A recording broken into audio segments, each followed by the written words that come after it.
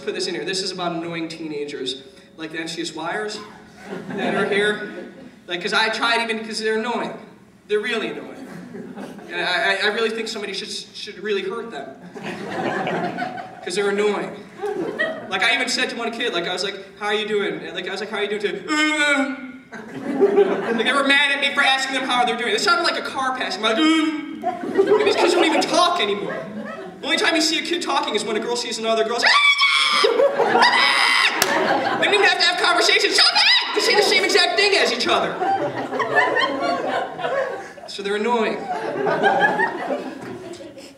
Had his legs spread wide open, I should have hurt him. That was on the bus. An old lady needed a seat and he just he sat there like an idiot. So I say, smack your little kid,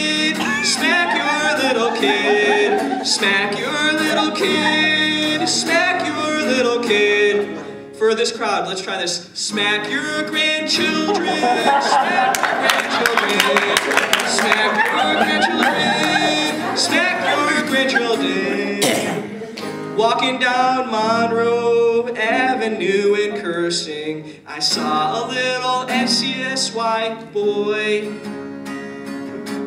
walking with his arm around a girl. Yes, I'm jealous, but it's wrong. He might as well be a goy. Smack your little kid, everybody! Smack your little kid, everybody! Smack your little kid, smack your little kid, like my father did. Smack your little kid. Y'all see, this.